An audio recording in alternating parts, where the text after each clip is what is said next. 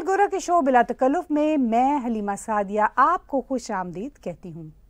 आज हमारी बातचीत होगी सुप्रीम कोर्ट भारत के उस तारीख साज फैसले के हवाले से, जिसमें जम्मू कश्मीर के आर्टिकल्स के खात्मे को मान लिया गया है।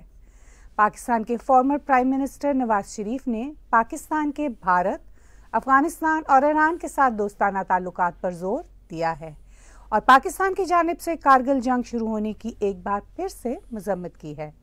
इसराइल और हमास की जंग में तेज़ी आ रही है और हमास ने अपने मुतालबात पूरे ना होने पर इसराइली यरगमालियों को हलाक करने की बात की है। तो चलिए बात का आगाज़ करते हैं।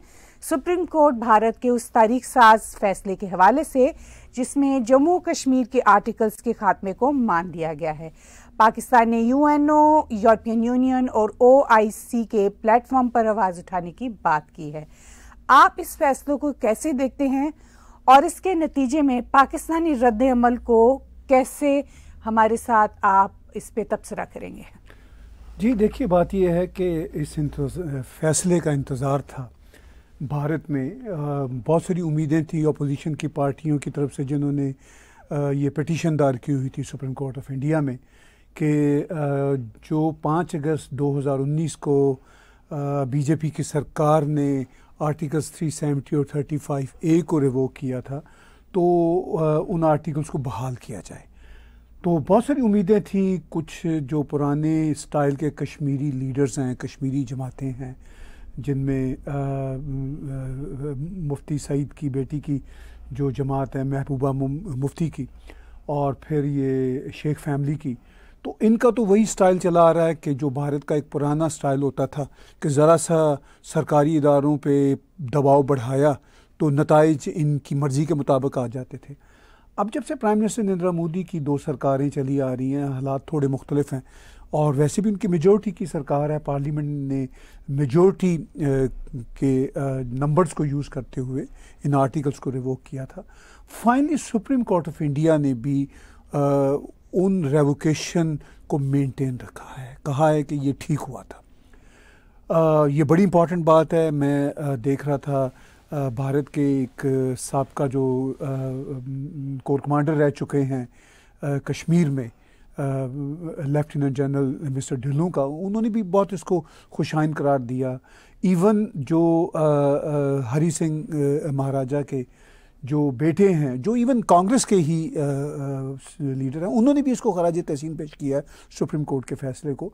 तो मैं ये समझता हूँ कि ये एक इंपॉर्टेंट बहुत ही इंपॉर्टेंट फैसला है और बुनियादी तौर पर ये भारत का इंटरनल मामला है। आपने पाकिस्तान की बात पूछी तो इसका पाकिस्तान के साथ लेना देना वैसे कम ही बनता है, क्योंकि ये तो कोई पाकिस्तान ने कोई पटिशन थोड़ी दाखिल की हुई थी। सुप्रीम हाँ, कोर्ट ये तो कह रहे हैं ना कि भाई हम इस फैसले को रद्द हाँ नहीं नहीं वो रद्द करते हैं लेकिन बट बट हु केयर्स ठीक है वो कहते हैं हम इसमें पार्टी हैं हम यूएनओ के पास जाएँगे तो वो तो हर बार जाते हैं कौन सी नई बात है? यूएनओ के पास तो पाकिस्तान को जो भी प्राइम मिनिस्टर हुआ है वो अभी मिस्टर काकड़ के किसी फोरम पे बात कर रहे थे तो इन बेचारों के पास पाकिस्तानियों के पास बात करने को है ही क्या?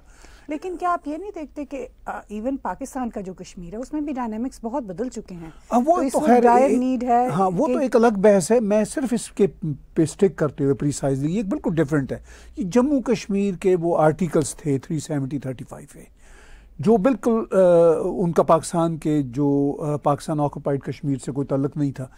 तो खैर, उस पर अब जो भारत के जो सुप्रीम कोर्ट ने फैसला दिया है, उनको जो मेंटेन रखा है सरकार के फैसले को तो वो मैं समझता हूँ कि एक बहुत बड़ा कदम है।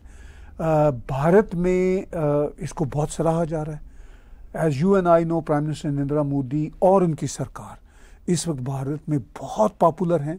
अभी तो लोगों ने ये क्वेश्चन ही उठाना छोड़ दिया जब से ये हिंदी हार्डलैंड की तीन स्टेट्स में लास्ट वीक जो इलेक्शन जीते हैं प्राइम मिनिस्टर नरेंद्र मोदी की जमात तो उन्होंने तो अब वो वहाँ पे उम्मीदें ज़रा ज़रा थी कि इंडिया अलाइंस आ रहा है, अपोजिशन आ रहा है को हम जीत जाएँगे। अब तो वो सब उम्मीदों पे उनकी पानी फिर गया है। ठीक अपनी पॉलिटिक्स उन्होंने करनी है, वो बोलते रहेंगे, कुछ ना कुछ करते रहेंगे। लेकिन सिचुएशन ये है कि प्राइम मिनिस्टर नरेंद्र मोदी के साथ majority of Indians on board हैं।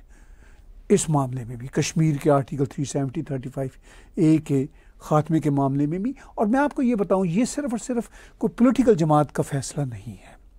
भारत के जो इदारे भी हैं जो जैसे सिक्योरिटी के इदारे हैं वो भी ऑन बोर्ड हैं। अब तो सुप्रीम कोर्ट ने जो फैसला दिया वो भी इसको लॉजिकली रैशनली मान रहे हैं। डायमेंशंस की चेंज है ना पॉलिटिकल डायमेंशन एक अलग चीज़ है लेकिन जो नेसेसिटी ऑफ़ टाइम है। Yes, that's what I हाँ उसमें उसमें उसमें even beyond politics beyond politics जैसे सिक्योरिटी के इदारे होते हैं। उनके लिए सरदर्दी बनी हुई थी ये कश्मीर एक लंबे अरसे से। अब जब से ये article three seventy thirty five A revoke हुआ है टेररिज्म बहुत कम हो गई। इवन कश्मीर के अवाम की जान सुखी हो गई है। जम्मू कश्मीर के लोग खुशहाली की बेहतरीन ज़िंदगी गुजार रहे हैं उसके बेहतरीन रास्ते पर हैं। आप देख लीजिए आप Kashmir news and Britain show करती हैं वहाँ से हर हफ़्ते कैसी बड़ी बड़ी डेवलपमेंट्स की खबरें आती हैं? आपने economic change socio economic change societal change अभी change, अभी जो आप बात कर रही हैं कि जैसे पाकिस्तान ऑक्युपाइड कश्मीर की बात कर रही है तो वो बेचारे पाकिस्तान ऑक्युपाइड कश्मीर वाले लोग तो तरस रहे हैं। वो देख रहे हैं बॉर्डर के उस पार कि भाई ब्रिजेस बन रहे हैं हॉस्पिटल्स बन रहे हैं यूनिवर्सिटीज़ बन रही हैं इदारे बन रहे हैं दहशत गर्दी कम हो गई अब जो दहशत गर्दी थोड़ी बहुत रह गई है वो भी तो यहाँ से इन्फिल्ट्रेशन हो रही है ना अभी भी लेकिन वो एक अलग बहस है कि पाकिस्तान भी अब ज़ाहिर इंटरनेशनल प्लेयर्स के कहने पे स्टेक होल्डर के कहने पे अब उतनी इन्फिल्ट्रेशन नहीं कर पा रहा पाकिस्तान के अपने हालात भी नहीं हैं कैपेबिलिटी भी नहीं है अब वो दहशत गर्दी करने वाली फिनेंशियल हालात भी नहीं है लेकिन वहाँ पे अ, भारत के अंदर, पूरे भारत के अंदर कश्मीर को एक उम्मीद की निगाह से देखा जा रहा है। पूरे भारत से टूरिस्टों की बड़ी बड़ी जो हैं यानी बड़ी तादाद जा रही है बड़े बड़े काफिले जा रहे हैं। और वहाँ पे सुना है कि होटल होटल नहीं मिलते। लास्ट लास्ट ईयर क्या, इसी साल फरवरी में हम थे तो हमने सोचा था जाने का कश्मीर और उसके लिए स्पेशल परमिशन भी लेना चाह रहे थे भारतीय सरकार से। लेकिन जब ये चेक किया कि वहाँ तो होटलों में कमरे ही नहीं है। तो हमने जाने का इरादा चेंज कर दिया। तो ये मामला है कि अब इस फैसले से सुप्रीम कोर्ट के इस फैसले से जो कॉन्टीन्यूटी ऑफ़ प्रोग्रेस है वो वो जारी रहेगी। अब वो उसमें कोई रखना नहीं पड़ेगा। क्योंकि भारत में हमने गुजशत सत्तर पचहत्तर साल में ये देखा कि कॉन्टीन्यूटी कोई होती थी अच्छी चीज़ों की कोई ना कोई पॉलिटिकल डिसीज़न आ जाता था। उससे वो प्रोग्रेस पे रखना पड़ जाता था। तो ये बहुत बड़ा मामला है। अब मैं वो पाकिस्तान के रिएक्शन की तरफ़ आता हूँ। तो देखिए, पाकिस्तान तो यूएनओ में भी जाएगा। वहाँ तक जाएगा क्या? वो तो हर रोज़ ही बैठ के कोई ना कोई उनका मंदूब जो होता है, जो उनका रिप्रेजेंटेटिव होता है, कुछ ना कुछ कश्मीर पे वो कोई ना कोई खतबाजी कर ही रहा होता है। क्योंकि उस बेचारे ने और करना क्या? उसको काम ही क्या है? अदर देन डैट उसने भी तो अपनी नौकरी के पैसे हलाल करने हैं। वो दे रहा होता है यूरोपियन यूनियन में अगर इनको जब मौका मिलता है थोड़ी सी बात करने का तो ब्रसल्स में ये, वहाँ पर भी जाके ये बात कर देते हैं। जनीवा आपको याद होगा, अभी हम रिसेंटली जनीवा में थे तो यूनाइटेड नेशंस के ऑफ़िस बेचारे का काम ही क्या है? वहाँ पे तो यही है कि ये चंद लोग बाहर खड़े हो जाते हैं, जो एक बड़ा सा पार्क बना हुआ है कुर्सी के नीचे, सामने। तो बस वो अपना कार्रवाई करते हैं। तो ये ये काम तो भी इतने बड़े सिनेरियो के अंदर, जिस वक्त के दुनिया में पॉलिटिकली इतनी इंस्टेबिलिटी के साथ है मेरा ख्याल है कि ये एक ऐसा इशू है जिस पे कि अब तक रिजोल्वेशन हो ही जानी चाहिए। हो जानी चाहिए, बहरहाल हो जाएगी, अभी थोड़ा समय लग रहा है। आखिरी जो उनका है, वो ये कि हम ओ के पास जाएँगे। O I organisation of Islamic conference जो है उसमें कभी पाकिस्तान के कश्मीर के इशू पे वो थोड़ा सा पब्लिक कंजम्पशन के लिए, इनके मुँह दिखावे के लिए कभी वो थोड़ी सी बात कर देते हैं। मगर ओआईसी के जो बड़े देश हैं, जैसे सऊदी अरब है यूएई है, वो तो पाकिस्तान को बैकडोर समझाते रहते हैं। समटाइम ओपनली भी कहते रहते हैं कि shut your mouth behave yourself हम तुम्हें अब पैसे नहीं देंगे अगर तुमने ये कश्मीर कश्मीर ज़्यादा किया। तो इसीलिए पाकिस्तान कश्मीर कश्मीर की गर्दान तो बहरहाल कर रहा है, लेकिन वो डरता भी है, इनसे पैसे भी इनसे लेने हैं। और आमदादी भी इनसे लेनी होती है। तो बस यही है कि वो पब्लिक कंजम्पशन के लिए ये है और हमारे जो बशानी साहब हैं उनसे भी हम एक दो दिन में बातचीत करेंगे। उन बेचारों ने तो किताब लिखी है जब ये यूनाइटेड नेशन की वो करारदादों की बात करते हैं तो वो कितना बड़ा मज़ाक है इट्स इस जो पे तो इतनी किताबें अब तक तो इतना कुछ सामने आ चुका है कि कोई बात ऐसी नहीं है कि जिसको दर पर्दा समझा जाए। क्योंकि इसके ऊपर बहुत तहकीक हुई है। इश्तियाक साहब की जो बहुत जी जी वो भी बड़ी अच्छी किताबें हैं। काफ़ी सारी चीज़ें और ख़ास तौर पर, पर हाँ, हमीद बशानी साहब की जो हाँ, किताब है वो अभी रिसेंटली छपी उसमें मैंने एक शो भी किया था। मैं एक दो दिन में उनसे तफसीली इंटरव्यू भी करूँगा ये जो रिसेंट डेवलपमेंट है क्योंकि वो उसके एक्सपर्ट हैं। और वो हमें और हमारे व्यूज़ को थोड़ा और समझाएँगे। चलिए अब भारत की कुछ अपोजिशन जमातें भारतीय मुफावदात के खिलाफ चलते हुए भारतीय सरकार की कश्मीर पॉलिसी से क्यों टक्कर लेना चाहती हैं? देखिए, ये भी बड़ा इंपॉर्टेंट क्वेश्चन है। वो, पाकिस्तान की तरह वो भी करें तो क्या करें? उनको भी तो अपनी सियासत चमकानी। उनके पास कोई सियासत चमकाने के रास्ते ही नहीं है। दुकानदारियाँ उनकी बंद हो चुकी हुई हैं। तो वो इस चक्कर में वो ये भूल जाते हैं कि जो भारत की कश्मीर पॉलिसी है, जो बड़ी रैशनल है बाय द वे वो सिर्फ़ भारत की नहीं है उसका फ़ायदा पाकिस्तान को भी है। कि भाई ये झगड़े ख़त्म होंगे तो पाकिस्तान भी सुख का सांस लेगा। आ, लेकिन पाकिस्तान की फ़ौज का चूँकि नरेटिव ही कश्मीर कश्मीर है तो अब वो एक अलग बहस है। मगर भारत की अपोजिशन जमातें अपनी सियासत को चमकाने के लिए ऐसा करती हैं मगर उनकी सियासत चमक नहीं रही। और फिर सवाल तो ये भी आता है कि इतने अरसे में जो स्टेटस को चल रहा था, उससे क्या फ़र्क, यानी उससे किसको फ़ायदा हुआ? उससे भी कोई फ़ायदा नहीं हुआ तो मैं सिर्फ़ ये कह रहा हूँ कि वो जो चमकाने की कोशिश कर रहे हैं, वो चमक नहीं रही उनकी सियासत। ये बात भारत की अपोजिशन जमातों को समझ नहीं आती, बल्कि उल्टा उनके गले पड़ती है इनफैक्ट आप देख लीजिए अभी ये जो हिंदी बेल्ट्स के जो रिजल्ट्स आए हैं, उनकी स्टेट्स के, कितने उनके लिए हॉरिबल हैं अपोजिशन जमातों के लिए। और आगे प्राइम मिनिस्टर नरेंद्र मोदी की एक बार फिर सरकार वाज तौर पर नज़र आ रही है। और फिर इनके सारे जो जो हैं तौर तरीके भारत के अपोजिशन जमातों के, वो फेल हो रहे हैं। तो मैं ये समझता हूँ कि ये एक चीज़ को भूल जाते हैं कि बीजेपी की मुखालफत करें, वो सियासत में चलता है। भारत की मुखालफत क्यों करते हैं? उसका नतीजा ये होगा कि फिर भारतीय ही इनको वोट नहीं देंगे। जैसा कि हम देख रहे हैं। भारतीयों की बड़ी तादाद धीरे धीरे धीरे बीजेपी की तरफ़ शिफ्ट हो रही है। तो ये जो भारत की अपोजिशन जमातें हैं, भारत की ये जो सरकारी पॉलिसी है, जैसे मैंने अभी पीछे कहा, ये सरकारी पॉलिसी सिर्फ़ बीजेपी की नहीं है। ये भारत के सिक्योरिटी इदारों की भी पॉलिसी है, भारत के थिंक टैंक्स की भी यही पॉलिसी है। अब तो भारत की सुप्रीम कोर्ट भी जुडिशरी भी ऑन बोर्ड है और वो ठीक, और वो ठीक तौर से ऑन बोर्ड है। चूँकि हकाइक सामने है सुप्रीम कोर्ट के भी, कि भाई ये कश्मीर के साथ ये इम्तियाजी, मैं तो उसको इम्तियाजी सलूक कहूँगा ना। ये क्यों हो रहा था? कि कश्मीर को भारत की जो मजमू तरक्की है, उससे क्यों काटा हुआ था? अब आर्टिकल 35 ए 370 का जो हटना है, वो इनफैक्ट अब कश्मीर को भारत के मेन स्ट्रीम धारे के साथ जोड़ रहा है। इसीलिए कश्मीर में बेतहाशा तरक्की हो रही है। तो मैं तो यही कहूँगा कि भारत की अपोजिशन जमातें जो हैं, वो थोड़ी सी सेंसिबिलिटी से काम लें और अपनी अनपॉपुलरिटी में इजाफा ना करें। चलिए, पाकिस्तान के सबक वजी अजम नवाज़ शरीफ ने अपनी एक हालिया तकरीर में पाकिस्तान के भारत, अफ़गानिस्तान और ईरान के साथ दोस्ताना ताल्लुक पर ज़ोर दिया है और पाकिस्तान की जानब से कारगिल जंग शुरू करने की एक बार फिर से मजम्मत की है। आप उनके बयान को कैसे देखते हैं? क्या आप समझते हैं कि इस तरह के बयान जो हैं, ये कुछ इम्पैक्ट क्रिएट कर सकेंगे? देखिए इम्पैक्ट ये क्रिएट तो कर सकते हैं, ये डिपेंड करता है पाकिस्तान की आर्मी पे। मगर नवाज़ शरीफ साहब ने ये बयान दे के मैं समझता हूँ, बहुत सौ के दिल जीत लिए हैं। उन सब लोगों के मेरे समेत जो उस रीजन में अमन चाहते हैं। और नवाज़ शरीफ ये बात कोई पहली बार नहीं कर रहे, इससे पहले भी कर चुके हैं, मगर ये बड़ा नाजुक मौका है। क्योंकि नवाज़ शरीफ की पॉलिटिक्स इस बयान की वजह से दाव पे लग सकती है, मगर उन्होंने बहादुरी का मुजाहरा किया है। हालाँकि वो आर्मी के साथ को अंडरस्टैंडिंग करके रिसेंटली ही वापस लौटे हैं। तो वो मतलब कह सकते थे कि कोई जो पाकिस्तान की इंटरनल सियासत की बातें कर सकते थे, क्योंकि वो गालबन जलालपुर जट्टा और कुछ इस तरह के इलाकों में जो पार्टी के पोटेंशियल टिकट लेने वाले लोग हैं, उनसे ये बातचीत करते हुए उन्होंने ये बात की थी। तो वो तो वहाँ पे यही बातें कर सकते थे जी कि आपको टिकट दे रहे हैं इलेक्शन लड़िए मगर वहाँ पे उन्होंने, मैंने वो सारी तकरीर सुनी, बड़े आर्टिकुलेट तरीके से उन्होंने बताया कि भाई, कैसे पाकिस्तान ज़रा बेहतर रास्ते पे था जब उनकी हुकूमत थी।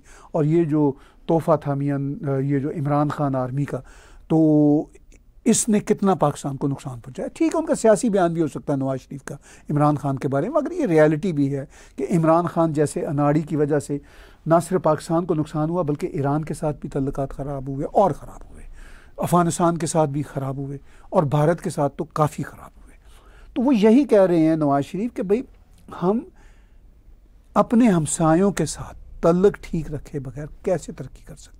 ये बड़ी सीधी सी बात है। मतलब आप इसी कॉन्टेक्स्ट में देख लीजिए नॉर्थ कोरिया ने अपने हमसायों के साथ कितने बुरे तल्लक रखे हुए हैं। कितना बुरा हाल है नॉर्थ कोरिया का। ठीक है? साउथ कोरिया तरक्की कर रहा है, इर्द गिर्द के और देश तरक्की कर रहे हैं। नॉर्थ कोरिया बिल्कुल खड्डे लाइन लगा हुआ है। इसी तरह पाकिस्तान खड्डे लाइन लगा हुआ है। बांग्लादेश तरक्की कर रहा है। इवन अफ़गानिस्तान के ठीक है, काफ़ी मसाइल हैं, मगर उनकी सुने जो उनकी करेंसी है, वो ज़रा पाकिस्तान से बेहतर है। बहरहाल, ठीक है अफ़गानिस्तान तो एक खैर और ही मसले वाली जगह है और पाकिस्तान का भी उसमें बड़ा कंट्रीब्यूशन है वहाँ के बिगाड़ में। ईरान, बहरहाल जो भी ईरान के इश्यूज़ हैं पाकिस्तान का वो हमसाया है। पाकिस्तान को गेट अलॉन्ग ही होना पड़ेगा। सबसे बड़ा हमसाया भारत है, जिसके साथ जंगें कोल्ड वॉर बॉर्डर हॉट रहते हैं, वो सारे इश्यूज़ होते हैं। अब वो ये कहना बिल्कुल नवाज़ का ठीक है कि पाकिस्तान की इकानमी का जो बुरा हाल है जो समाज का बुरा हाल है पाकिस्तान एफोर्ड ही नहीं करता अपने हमसायों के साथ बुरे तल्लक और ये एक बहुत बड़ा फैक्ट है कि इकोनॉमिक ट्रेड जितनी बेहतर अपने नेबर्स के साथ हो सकती है और हेल्प आउट हो सकता है मेरा नहीं ख्याल कि इस वक्त इस वक्त की सिचुएशन में कोई और पॉसिबल इतना अच्छा रास्ता हो सकता है। देखिए सिर्फ़ इकोनॉमिक ट्रेड का मसला नहीं होता आपके हमसायों के साथ जनरली भी तल्लक अच्छे होने चाहिए, चाहे दो घर हों, चाहे दो देश हों, क्योंकि वो इन्वायरमेंट होती है। बहुत सारी चीज़ होती है टूरिज़्म होती है, लोगों का आना जाना होता है। अब देखिए, पंजाब में दोनों तरफ़ लाखों लोग आना जाना चाहते हैं पंजाब की दोनों तरफ़ से ख़ास तौर पर भारतीय पंजाब की तरफ़ से तो लाखों के या शायद करोड़ों लोग आना चाहते हैं। उनकी सारी, उनके जो मक्के हैं, उनके जो काबे हैं, वो सारे के सारे पाकिस्तान में ननकाना साहब हो, करतारपुर हो, ठीक है, वो करतारपुर की राहदौरी खोल दी है। मगर ये पंजा साहब है फिर फिर फिर जो पंजाबी हिंदू हैं, उनके मंदिर वो तो दुख की बात है, ढाई जा चुके हैं। सिंधी हिंदुओं के जो मंदिर हैं, उनका क्या हाल है? खुद सिंध पाकिस्तान में रहने वाली बच्चियों के साथ क्या बुरा सलूक होता है? खैर, वो तो अपनी जगह पे हैं तो हमसायों के साथ अच्छे तल्लकात होंगे तो टूरिज़म, रिलीजियस टूरिज़म एक दूसरे के साथ। जैसे हम गए हैं अभी, हम फ्रांस से, स्विट्ज़रलैंड में घुसे, स्विट्ज़रलैंड से इटली में गए पता ही नहीं है सरहद किस मुल्क की कहाँ ख़त्म हुई है किसकी कहाँ शुरू हुई है। मतलब इतने वो अच्छे तरीके से रह रहे हैं। हालाँकि सेकेंड वर्ल्ड वॉर में यही लोग एक दूसरे के साथ लड़ते रहे थे। तो अब नवाज़ शरीफ भी यही कहना चाह रहे हैं। फिर नवाज़ शरीफ ने इस हकीकत की तरफ़ भी इशारा किया कि भाई बात यह है कि ये जो कारगिल की जंग आपने शुरू की थी ये जनरल परवेज़ मुशरफ ने किया था बदमाशी वाला काम तो उन्होंने कहा उसकी कोई ज़रूरत नहीं थी। इससे कितना पाकिस्तान को नुकसान हुआ? कारगिल की जंग आ, से पहले जनरल परवेज़ मुशरफ वाजपेयी साहब को बुला रहे थे। अच्छा अब वाजपेयी साहब को नवाज़ शरीफ साहब ने भी बुलाया था। नवाज़ शरीफ साहब ने जो अच्छी बात की, वो ये है कि मोदी साहब कहा और वाजपेयी साहब का यही एक अक्ल वाली बात होती है कि आप किसी की इज़्ज़त करेंगे तो लोग आपकी इज़्ज़त करेंगे। देखिए ना इमरान खान जैसा जाहिल आदमी था वो मतलब किस तरह की लैंग्वेज मोदी साहब के लिए इस्तेमाल करता था? ये जो आ, ये जो पप्पू है पाकिस्तानी बिलावल भट्टो एक इंतहाई जाहिल मुतलक लड़का है उसको भी सियासत इसका बाप ठीक कहता है जरदारी साहब कि इसको सीखनी होगी अभी बहुत बच्चा है वो बुचरम तो गुजरात कह अब इस तरह की आप लैंग्वेज यूज़ करेंगे तो उसके बाद आप तो करेंगे कि भारत के लोग आपको फूल पेश करेंगे। और वैसे भी आ, मेरा ख्याल है कि डिप्लोमेटिक कोर्स से लेकर पॉलिटिकल कोर तक लैंग्वेज बहुत अहम होती है। और हम इंटरनेशनल सिनेरियो के ऊपर देखते हैं कि बहुत बड़े इख्तलाफात होते हैं वेस्ट में भी होते हैं लेकिन लिंग्विस्टिकली कभी कोई अन प्रोफेशनल वर्डिंग यूज़ नहीं करता जिसमें कि आप जिसे कहना चाहिए कि गली मोहल्ले की ज़ुबान आप पॉलिटिकल प्रोफेशनल लैंग्वेज के तौर पे यूज़ करना शुरू कर दें। मैं समझती हूँ ये उसके ज़ुमरे में आता है सो थोड़ा सा इस सिलसिले में भी गाइडेंस की ज़रूरत होती है। बिल्कुल गाइडेंस की ज़रूरत होती है। मियाँ नवाज़ शरीफ साहब सीज़न पॉलिटिशियन हैं। मैं उनको बहुत अरसे से ऑब्ज़र्व कर रहा हूँ। शुरू में जब पॉलिटिक्स में आए थे तो हमें उनके अंदाज़े सियासत पे काफ़ी एतराज़ा थे, पसंद नहीं थी, मगर उन्होंने सीखा वक्त के साथ, अपने आप को मेच्योर किया। और अब जे जो वो ये बातें कर रहे हैं मैं तो उनको सल्यूट करता हूँ honestly this is the solution for Pakistan जो नवाज़ शरीफ कह रहे हैं. मतलब आ, मुझे तो पाकिस्तानी सियासतदानों से कोई उम्मीद ही नहीं है कि कोई अकल की बात करेंगे. पाकिस्तान की इस्टेब्लिशमेंट से भी उम्मीद नहीं है मगर मियाँ साहब ने ये बातें चूँकि अभी रिसेंटली कही हैं और बड़े मुश्किल हालात में कही हैं पाकिस्तान में जबकि पॉलिटिक्स का बाज़ार गर्म है, इलेक्शन भी सर पे हैं, उसमें आप इस तरह की अनपॉपुलर बात नहीं कर सकते। मगर उन्होंने कह दी है तो मैं तो उनको सल्यूट करता हूँ। चलिए, ये एक उन्होंने बुनियाद रखी है कि पॉलिटिशियन को रियलिटीज़ को भी आवाम के सामने लेके आना चाहिए। एक मंझे हुए जिसे कहते हैं कल्चर्ड सियासतदान के तौर के ऊपर बेहतर लैंग्वेज के साथ। तो क्या नवाज़ शरीफ ये बातें करके मिलिट्री इस्टेब्लिशमेंट के साथ अपने ताल्लुक ख़राब कर रहे हैं? क्योंकि मिलिट्री जो चाहती है इवेंचुअली होता तो वैसा ही है। बिल्कुल वैसा ही है जी। पाकिस्तान में जो मिलिट्री चाहती है, वही होता है। अब इस पे पाकिस्तान के बहुत सारे जो यूट्यूब व्लागर्स हैं, जो टीवी एंकर्स हैं और कॉलमिस्ट हैं, वो लिख भी रहे हैं ऑलरेडी वो ये कह रहे हैं कि तासर दे रहे हैं कि मियाँ नवाज़ शरीफ ने जो इस तरह की बातें की, इसका मतलब यह है कि वो उनके आर्मी के साथ जो कुछ अंडरस्टैंडिंग हुई थी, जिस अंडरस्टैंडिंग की बुनियाद पर वो चार पाँच सालों बाद पाकिस्तान वापस लौटे हैं, वो शायद अंडरस्टैंडिंग कोई ख़राब हो गई, उन्होंने बात कह दी। कुछ का ये कहना है कि गालबन मियाँ नवाज़ शरीफ अपने आप को रोक नहीं सके, जो वो सच है उन्होंने बयान कर दिया। लेकिन जो भी सूरत हाल है, उन्होंने ये बातें की हैं और बड़े धड़ल्ले के साथ की हैं। इसका नुकसान भी उनको हो सकता है। और हो सकता है कि मिलिट्री इन बातों को इग्नोर कर जाए। जो मिलिट्री के अपने हालात हैं इंटरनेशनल जो सिनेरियो है, मिलिट्री ये समझे कि मियाँ साहब ने जो कह दिया, चलिए, भारत के साथ तल्लकात जो हैं, बेहतर करने की मतलब एक सूरत निकल सकती है स्टेटमेंट से। ठीक है मिलिट्री कहने को कश्मीर की बात भी करेगी सुप्रीम कोर्ट ऑफ़ इंडिया के फैसले को भी बीच में लाएगी, कोई पब्लिक कंजम्पशन के लिए स्टूपिड बातें भी कर देगी। ये सब चलेगा साथ साथ ही, क्योंकि मैं ये समझता हूँ इस बात को कि मुमकिन नहीं होता कि आप एकदम से जो होता है ना, फूलों वाली ज़ुबान सारी की सारी इस्तेमाल करना शुरू कर दें। जब पाकिस्तान जैसी रियासत जिसने हमेशा गैर ज़िम्मेदारी और गैर महजब लैंग्वेज बरती है तो वो, मैं नहीं तो करता कि वो उनके सारे जो एक्टर्स हैं, वो एकदम से बड़ी महजब और ज़िम्मेदारी वाली लैंग्वेज बरतेंगे मियाँ साहब ने बरती है, आर्मी नहीं बरत सकती तो चलिए वो मियाँ साहब को बर्दाश्त कर लें। लेकिन ये भी हो सकता है कि वो वाकई ये बात सच हो कि मियाँ साहब की अंडरस्टैंडिंग ख़राब होना शुरू हो गई है।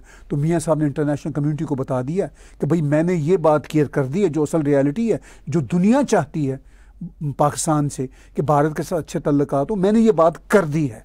अब मिलिट्री नहीं मानती पाकिस्तान की हो सकता है ये भी मियाँ साहब देना चाह रहे हों। और ये भी हो सकता है कि अभी पाकिस्तान के चीफ दामी साहब अपने कुछ और फौजी अफसरान के साथ अमेरिका के दौरे पे हैं तो अमेरिका के दौरे पे वो क्या उनकी अंडरस्टैंडिंग अमेरिकन के साथ पेंटागन के साथ होती है? चूँकि यूक्रेन को पाकिस्तान जो ख़बरें आ रही हैं, वो गोले भी फ्राहम कर रहा था, कुछ असला भी फ्राहम कर रहा था। हो सकता है वो अमेरिका को थोड़ा सा और थोड़ा सा कर लें, अपने साथ ऑन बोर्ड कर लें। अगर उनके पास कुछ असला पाकिस्तान के पास ऐसा है जो यूक्रेन को दिया जा सके तो वो दे दे सकें। अमेरिकन की पाकिस्तान से कोई ना कोई तो रहती हैं, अगर वो उन पर कुछ और अमल कर सकें। तो फिर उस सारी रोशनी में हो सकता है इंडिया के हवाले से भी मैं सिर्फ़ गैस कर रहा हूँ। कोई कोई बात हो तो वो अमेरिकन भी पेंटागन वाले भी कहें कि भाई आप कूल डाउन करें इंडिया के साथ तल्लक अगर वो वहाँ से कोई मैसेज आता है क्योंकि दो ही जगहों से पाकिस्तान को मैसेज जा सकता है। या तो अमेरिका या मिडल ईस्ट मिडल ईस्ट से मेरी मुराद ये है सऊदी अरब और यूएई ताल्लुकात हाँ, बहुत गहरे हैं बहुत पुराने बहुत गहरे भी हैं और पाकिस्तान की ज़रूरतें भी अमेरिका के साथ यूएई के साथ और सऊदी अरब के साथ बहुत जुड़ी हुई हैं। ज़रूरतें और ताल्लुकात एक हाँ, साथ चलते हैं। ताल्लुकात तो खैर वो इतने मैटर नहीं करते फ्रैंकली क्योंकि हम अमेरिकन को पाकिस्तान के साथ कोई ताल्लुकात को नहीं चाहिए। वो ज़रूरतें ही हैं पक्की ज़रूरतें कोई ताल्लुकात नहीं है। तो वो फिर इस बुनियाद पर हो सकता है कि वो जब ये देखें चीफ द आर्मी स्टाफ कि भाई अमेरिकन भी सॉफ्ट मशवरे इनको दे रहे हैं तो फिर मियाँ नवाज़ शरीफ की स्टेटमेंट पर रिएक्ट ना किया जाए इसको इग्नोर किया जाए। तो अगर तो ये सूरत बनती है तो फिर तो मिलिट्री इस्टेब्लिशमेंट के साथ तल्लक इनके ख़राब नहीं होंगे। लेकिन अगर जैसा कि पाकिस्तान की ट्रेडिशन है कि मिलिट्री इस्टेब्लिशमेंट पाकिस्तान की कोई भी बात भारत के हक में सुनना पसंद नहीं करती, और फिर इस बात को भी उसी खाते में डालेंगे मियाँ नवाज़ शरीफ ने जो बात की है तो वो फिर मियाँ नवाज़ शरीफ के लिए मुश्किल होंगी। मगर ये मुश्किल फिर मियाँ नवाज़ शरीफ के लिए नहीं है, ये मुश्किल पाकिस्तान के लिए ये मुश्किल खुद मिलिट्री इस्टेब्लिशमेंट के लिए इन द लॉन्ग रन है कि कब तक वो जंगो जदल की स्टूपिड बातें करते रहेंगे और अपना बेड़ा कर करते रहेंगे। चलिए अब इस तरफ़ आते हैं कि बहुत सारे इफ्स एंड बट्स के साथ और बहुत सारे चैलेंजेस के साथ जैसा कि आपने कुछ वाजे भी किया। क्या आपको पाकिस्तान में इलेक्शन वक्त पर होते नज़र आते हैं? देखिए ये वाकई बड़ा इफ्स एंड बट्स का मसला है। आज ही मैं जरदारी साहब का बयान पढ़ रहा था। उन्होंने भी कह दिया कि कुछ मौसम के मसाइल ऐसे हो सकते हैं, जिसकी वजह से इलेक्शन थोड़ा आगे हो सकते हैं। अब जरदारी साहब one of the important stakeholders in Pakistani politics तो अगर वो ये बात कर रहे हैं, इशारा दे रहे हैं तो उसका मतलब ये है कि कोई शायद ऐसी बातचीत चल रही है कि इलेक्शन थोड़ा आगे चलेंगे। पहली इलेक्शन आगे आगे आगे होते आठ फरवरी की डेट अनाउंस हुई थी। अब वो तो जरदारी साहब आठ दस दिन की गालबन बात कर रहे हैं। कुछ और पाकिस्तान के जो हल्के हैं, वो दो तीन हफ्तों की बात कर रहे हैं। अब हो सकता है आठ दस दिन आगे हों दो तीन हफ़्ते आगे हों, फिर उसके बाद फिर आगे हो जाएँ। अब फिर इमरान खान की पार्टी का जो जिन है, वो काफ़ी बोतल में जा चुका है, लेकिन फिर भी अभी भी वो कभी कभी बोतल से बाहर निकल आता है। फिर कोई पता नहीं होता पाकिस्तानी इस्टेब्लिशमेंट अगर इंटरनेशनल सीन से मायूस होती है, अमेरिका से वो कुछ नहीं मिलता, सऊदियों से वो कुछ नहीं मिलता या उनसे नहीं मिलता यूएई से वो नहीं मिलता जो वो एक्सपेक्ट करते हैं। तो फिर वो मियाँ साहब को कहेंगे, मियाँ साहब तुम भी ज़रा साइड हो। चूँकि मियाँ साहब को तो वो इसीलिए अपरेंटली लग रहा है, आगे ला रहे हैं कि मियाँ साहब is in a position to get assistance from these countries ठीक है ठीक है वो सीज़न पॉलिटिशियंस हैं वो एम से भी मिल सकते हैं वो एम अमरातियों से भी मिल सकते हैं अमेरिकन के साथ भी उनकी बातचीत हो सकती है। तो फिर फौज सोचेगा वो कोई बात नहीं अब हम मियाँ नवाज़ शरीफ और दूसरी पार्टियों को इमरान खान का जिन जो है वो दोबारा बोतल से बाहर निकाल के दिखाते हैं। ठीक है? तो अगर इस तरह की हरकतें मिलिट्री इस्टेब्लिशमेंट ने की क्योंकि वहाँ पर कुछ पता नहीं चलता कि अगले दिन क्या होना है। लेकिन सवाल तो ये है कि इसमें को हर बंदा आजमाया हुआ है जो कि बहुत बड़े फेस के साथ मौजूद है। तो चाहते क्या है? इस सबसे गेन क्या करना चाहते हैं? ये भी तो बहुत अहम सवाल मिलिट्री, देखिए जी वाज तौर पर एक ही बात पाकिस्तान की चाहती है कि उनकी सुप्रेमेसी जो है, उनकी सुप्रेमेसी रहे। वो वो, उनको कोई मसला नहीं है कि नवाज़ शरीफ दोबारा आ जाएँ चौथी बार आ जाएँ इवन इमरान खान भी दो दूसरी बार आ जाएँ माफ़ी वाफ़ी मांग के तरले वले करके। वो सिर्फ़ ये देखते हैं कि भाई उन पे कोई उंगली ना उठाए उन पे कोई क्वेश्चन ना करे। पाकिस्तान की बेहतरी का कोई कोई कोई चक्कर नहीं। हाँ ये अब अब मामला अलग है कि अब आगे पावर पॉलिटिक्स क्या वहाँ पे शेप लेती है। और इसके साथ साथ जो पाकिस्तान के इकनॉमिक हालात हैं वो आगे कैसे बढ़ते हैं? आईएमएफ भी पैसे देता है फिर रुक जाता है। अमेरिका से भी डिफरेंट जो होता है ना कभी कान इधर से पकड़ के कभी कान उधर से पकड़ के कुछ ना कुछ पैसा आ जाता है। कभी यूक्रेन को असला बेच दिया तो आ गया। अच्छा इसमें कोई बुरी बात नहीं मैं समझता पूरी दुनिया असले बेचती है। पूरी दुनिया को इट डजेंट मैटर लेकिन फौज का फौज इस तरह के बायोलेट्रल कोऑपरेटिव सिनेरियोज में भी रहती है। ठीक है, वो चूँकि पाकिस्तान की स्टेक होल्डर है सबसे ज़्यादा, मैं समझता हूँ उस बात को। पाकिस्तान के हवाले से सभी दुनिया के ममालिक को पता है कि भाई, अगर उस मुल्क में हमें कुछ करना है तो हमें डील पाकिस्तान आर्मी को करना होगा। सियासतदान वहाँ पे मैटर नहीं करते। मियाँ नवाज़ शरीफ यही तो कोशिश कर चुके हैं in his last three terms कि भाई, मैं मैं मैटर करता हूँ, मेरी भी हुकूमत है। तो फिर उनको निकाल देते थे। तो मियाँ साहब अभी हुकूमत में आई नहीं। उनके चांसेस हैं। कोई अंडरस्टैंडिंग कहते हैं ऐसी हुई है। कुछ मियाँ सब सीज़न भी हैं कुछ इंटरनेशनल स्टेक होल्डर भी शायद चाहते हैं। मगर अभी तो वो आए नहीं आए बगैर ही उन्होंने वो बातें कर दी जो मतलब जो पाकिस्तान आर्मी के लिए प्रॉब्लमेटिक भी हो सकती हैं और या फिर पाकिस्तान आर्मी ये सोच सकती है अगर वो वाकई अपने आप को तब्दील कर रही है इंटरनेशनल सीन पर तो वो ये सोच सकती है कि चलिए जी मियाँ साहब ने हमारा रास्ता साफ़ कर दिया। नहीं साफ़ नहीं किया मतलब मैं ये कहना चाह रहा हूँ हम हमारे रास्ते में बिछे कांटों को कम कर दिया है हमारा ही काम कर दिया इट ऑल डिपेंड्स कि पाकिस्तान आर्मी इंटरनेशनल पर्सपेक्टिव में कॉन्टेक्स में अपनी इस मौजूदा पोजीशन को कहाँ पर देखती है? और देख सकने के काबिल भी है या नहीं है ये भी कल लग सवाल हाँ, है ये बहुत अहम सवाल है कि आपकी माइंडसेट किस तरफ़ का हाँ, है और आप किस तरह सोचते हैं। और उसके साथ साथ आप इंटरनेशनल ग्लोबल जो, जो कि ग्लोबल विलेज जिसमें हम रह रहे हैं उसकी रियलिटीज़ को कैसे डाइजेस्ट करते हैं। चलिए अब हम चलते हैं मिडल ईस्ट की सूरत हाल की जानब। इसराइल और हमास की जंग में तेज़ी आ रही है और हमास ने अपने मुतालबात पूरे ना होने की सूरत में इसराइली यरगमालियों को हलाक करने की बात की है। अब इस सूरत हाल को इस पर आप थोड़ा सा कुछ हमें ब्रीफ कीजिए। देखिए Hamas political Islam Muslim brotherhood की एक्सट्रीमिज्म का एक नमूना है। वो अपने लोगों की, फ़लस्तीनियों की लाशों से भी खेलता है। उनकी जितनी लाशें गिरती हैं, वो उतना ही एंटीसिपेट करता है दुनिया उनको पैसा देगी। अब ये छोटा सा एक वो गज़ा की पट्टी का इलाका है।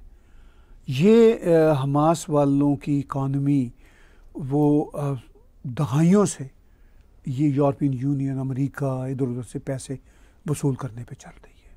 और इतने करप्ट हैं। एक तो ये बारबैरिक हैं सैवज हैं, और फिर ये इतने करप्ट हैं उसकी भी कोई इंतहा नहीं। और फिर पॉलिटिकल इस्लाम का इनको हैजा हुआ हुआ है। ये वो पॉलिटिकल इस्लाम है जिससे UAE Saudi Arabia even Qatar Kuwait Oman ये सब तोबा तोबा करते हैं। वो कहते हैं कि ये ये क्या मखलूक हैं? चूँकि यूएई हो, सऊदी अरब, ये सब तरक्की कर रहे हैं, बहरीन हो, ये आगे बढ़ना चाह रहे हैं। और हमास उस इलाके में सबसे बड़ी रुकावट है, सबसे बड़ा कर्ज है उस उस इलाके में। अब ये इतने बारबैरिक हैं, इतने जालम हैं, पहले जो इन्होंने सात अक्टूबर का वाक़ किया। यानी जंग जो होती है देशों के बीच में, वो एक जंग होती है, उसका एक एक फार्मूला होता है। लोग उठा लिए, बच्चे उठा लिए, उनको जिस तरह मारा, वो वीडियोस अवेलेबल हैं। फिर उसके बाद ज़ाहिर है इसराइल की फिर जो डिस्प्रोपोर्शनेट जो दुनिया कहती है डिस्प्रो कार्रवाई हुई तो फिर ये क्या करते हैं हमास वाले? वही बच्चों की जो इनकी लगाई हुई आग की वजह से जो जंग बनी हमास वालों की। फिर उस जंग के नतीजा में जो बेचारे हज़ारों बच्चे, और औरतें और सब लोग मारे गए, वो वो फिर उनको ना ढहाल के तौर पर पेश करते हैं। और फिर दुनिया उसको दिखा रहे होते हैं कि हमें पैसे भी दो, असला भी दो, और फिर हम बारबेरिक ही रहेंगे। ये भी इनका मैसेज होता है, हम मार देंगे नवाज़ से जिसको भी। जिन बेचारों को कोई काम नहीं। अच्छा फिर इनकी दलील ये होती है कि भाई अगर हम मासूम मजलूम इसराइलियों को मारने पर अगर हमारे ऊपर दुनिया उंगली उठाती है तो दुनिया क्यों उंगली नहीं उठा रही जो फ़लस्तीनियों पर हमले हो रहे हैं इसराइल की जो बम्बार्टमेंट हो रही है? भाई, पहला सवाल तो ये है कि किसने ये शुरू किया? टेररिज्म का कारोबार तो हमास इस्लामिक जहाद इस तरह के जो कर्स ऑन द प्लानट हैं, ये करते हैं। आइडियोलॉजिकली और माइंडसेट के साथ? आइडियोलॉजिकल माइंडसेट भी करप्ट माइंडसेट जहाद कारोबार है इनका। ये इतने का मतलब मुझे कहने दीजिए, इतने का गलीज और सैविज लोग हैं। They are absolutely responsible Hamas is absolutely responsible for this recent war और पीछे से भी जो चल रहे हैं इसराइल के ऑपरेशन और जो गज़ा और वेस्ट बैंक की पट्टियों पर उनके लगे रहते थे नाके और उन्हें, वो इन्हीं की वजह से थे। ये इंसानियत की मॉडर्न सिविलाइजेशन के लिए सबसे बड़ा ख़तरा है, ये हमास एंड कंपनी अच्छा दुख की बात यह कि हमास एंड कंपनी इस तरह के लोग, ये कोई चंद सौ नहीं है, हज़ारों की तादाद में। फिर जो बेचारा आम गरीब फ़लस्तनी है, वो बेचारा अनपढ़ है वो मत पिसता है, हमास की तरफ़ से ही पिसता है इसराइल की बम्बार्डमेंट भी होता है। तो एज अ रिज़ल्ट उनके जो मासूम बच्चे जो हैं, कुछ मारे जाते हैं बेचारे, कुछ इनके हाथों, कुछ इसराइल की बम्बारी के हाथों, और फिर ज़्यादातर हमास जैसे लोगों की लगाई हुई आग के हाथों, जो बेचारे बचते हैं हज़ारों की तादाद में, लाखों की तादाद में, वो फिर हमास का माइंडसेट और बाय कर लेते हैं। वो कहते हैं, उन उन बेचारों के पास कोई ऑप्शन ही नहीं होती। एक भेड़ बकरियों के पास क्या ऑप्शन होनी है? अच्छा अब दुनिया को ये तय करना होगा कि ये जो हमास एंड कंपनी और ये जो माइंडसेट है, ये जाएगा या नहीं जाएगा। अब इसराइल का ये कहना है कि भाई हम अब की बार तो हमास का खात्मा करके रहेंगे। मैं और आप कई बार बातचीत कर चुके हैं। हमास का खात्मा मुकम्मल तौर पर मुमकिन नहीं है, ये एक माइंड सेट है। It's not just a number of people ठीक है? लेकिन बहरहाल इसराइल को कुछ ना कुछ तो करना होगा ना। जब इसराइल ने इतने इल्ज़ाम लिए हैं, पूरी दुनिया का प्रेशर लिया है, काफ़ी तबाही भी की है तो या तो इसराइल वो तबाही छोड़ के वापस आए, फिर ये ढोल बजाते हुए और अल्लाह अकबर करते हुए ये हमास वाले फिर जहाद के रास्ते पे वापस आ जाएँगे। तो एक बार तो जैसे वो दाइश का खात्मा हुआ था ना, आइसिस वालों का ऑलमोस्ट देखिए उनका खात्मा तो हुआ, मगर फिर भी वो माइंडसेट पूरी दुनिया में है। भारत में भी है, पाकिस्तान में भी है, वो माइंड सेट है, लेकिन एटलीस्ट वो खिलाफत की जो रियासत थी, जो इन्होंने लेवांट और इराक में बनाई थी, वो तो ख़त्म हुई ना। उससे तो जान दुनिया की छूटी। सीरिया की भी जान छूटी इराक की भी जान छूटी तुर्की भी की की भी किसी हद तक जान छूटी। वो उनके बीच में एक इलाका था जहाँ ये पहुँच गए थे। इन्होंने रियासत बना ली थी। ये हमास वाले भी उसी लेवल के। अब हमास के अंदर भी दाइश के लोग ही आए हैं। दाइश का ही माइंड, जिन्होंने ये कत्ल आम किया था बच्चों का इसराइली और जो फॉरनर्स गए हुए थे इसराइल में। तो बहरहाल ये जंग में तेज़ी है, बहुत ही मैं समझता हूँ नाजुक हालात हैं, बुरे हालात हैं, लेकिन देखिए आने वाले दिनों में ये कैसे डस्ट बैठती है। चलिए जी, यूएनओ इसराइल और हमास को सीज फायर पर ज़ोर दे रहा है, UNO is playing its part America ने वीटो कर दिया है, America is not in favour of it इस मामले को अब हम कैसे देखेंगे? प्लीज़ तबसरा कीजिए। देखिए, यूएनओ ने बहरहाल कहा कि भाई ये सीज़ फायर हो जाना चाहिए। पहले सीज़ फायर की बात नहीं इतनी हो रही थी। ज़ाहिर है, जब इतनी खौफनाक बम्बार्टमेंट हो रही है और हमास वाले भी नहीं रुक रहे, बीच में आपको याद होगा कि पाँच छः दिन के लिए एक पॉज आया था। एक टेम्प्रेरी सीज़ फायर हुआ था, जिसमें हंड्रेड प्लस गालबन हंड्रेड के करीब हॉस्टेज छोड़े थे। उन्होंने भी कोई चंद सौ इनके इसराइलियों ने भी फ़लस्तनी या हमास के जो प्रिजनर्स थे वो छोड़े थे। तो वो उसमें सीज़ फायर आया था, कुछ एटलीस्ट वो अमदाद गई थी, खाना पीना गया था तेल गैस गई थी, जिससे हॉस्पिटल भी चल सकें, लोग भी खा पी सकें। अब ज़ाहिर है फिर कोई पाँच छः दिन से खौफनाक जंग चल रही है, हर चीज़ स्टैंड स्टिल है। तो यूएनओ तो ज़ाहिर है एक बैन अवी इदारा है, वो तो यही दबाव डालेगा कि भाई सीज़ फायर हो। लेकिन अमेरिका इस बार चूँकि प्रेसिडेंट बाइडन अनलाइकली अमेरिका, पिछले जो कॉन्फ्लिक्ट्स होते थे हमास के या इसराइल के तो फिर अमेरिका आ ही जाता था, कहता था, यार चलो चलो मुक मुका करो। बीच बीच में पड़ जाता था। इस बार अमेरिका सीज फायर नहीं करवा अमेरिका भी कह रहा है प्रेसिडेंट बाइडन जो कि ज़ाहिर है अमेरिकन रजीम के हेड हैं तो वो बार बार कह रहे हैं कि हमास का खात्मा होना ज़रूरी है। ये बात हमास को बहुत खटक रही है कि या जितने भी जहादी हैं वर्ल्ड वाइड उनको बड़ा इस पर गुस्सा आ रहा है प्रेसिडेंट बाइडन और उनकी एडमिनिस्ट्रेशन की तरफ़ से इस बात पे। लेकिन वो बहरहाल डटे हुए हैं इसीलिए उन्होंने वीटो किया। वो भी चाहते हैं कि वंस फॉर ऑल ये हमास का तो टेंटा मुके ये अलग बात है कि हमास का टेंटा इसके माइंड सेट का टेंटा तो बहरहाल नहीं मुकने वाला। लेकिन जैसा मैंने दाइश के बारे में बात की एक बार दाइश का स्ट्रॉन्ग होल्ड तोड़ दिया था अमेरिका नहीं तोड़ा था। आ, इस बार भी वो कोशिश कर रहे हैं कि उस तरह हमास का भी स्ट्रॉन्ग होल्ड एटलीस्ट तोड़ दिया जाए। अगर मैंटेलिटी नहीं ख़त्म हो सकती तो वो तो अब मजबूरी है क्या होगा? अब मैंटेलिटी तो कम वक्त रहेगी। लेकिन अब वीटो अमेरिका इसीलिए कर रहा है कि भाई ठीक है जब इतने इल्ज़ाम ले लिए इसराइल ने भी और अमेरिका ने भी तो एक दफ़ा इसका टेंटा ख़त्म हो। अब आई एम नॉट श्योर कि वो स्ट्रॉन्ग होल्ड तोड़ सकेंगे कि नहीं तोड़ सकेंगे। हल तो होता ही नहीं है चीज़ों का लेकिन होप होती है कि शायद कुछ हाँ जी एब्सोलूट भी ऑलमोस्ट होता है। हमने दाइश के मामले में देखा कि वो ऑलमोस्ट एब्सोलूट ही था। जान छूटी दाइश की वहाँ पे एक सल्तनत बनी हुई थी इलीगल इनकी भी इलीगल सल्तनत है। हमास गज़ा की पट्टी के इंचार्ज हैं। ऐसा नहीं है कि ये कोई सिर्फ़ टेररिस्ट ग्रुप है। They are running that area तो वहाँ से उन्होंने एब्सोलूट खात्मा कर ही दिया था। यहाँ से भी वो चाहते हैं कि एब्सोलूट खात्मा हो। चलिए, आज के बिला तकल्लुफ तबसरे का बहुत बहुत शुक्रिया। आज का बिला तकल्लुफ शो ताहिर गोर और मेरे साथ देखने का बहुत शुक्रिया। आप हमारे टैग टीवी के यूट्यूब चैनल को सब्सक्राइब कीजिए। हमारे इसी चैनल पर मौजूद डोनेट के बटन को क्लिक कर कर आप हमें पेपॉल पेट्रियन या क्रेडिट कार्ड के ज़रिए डोनेट कर सकते हैं।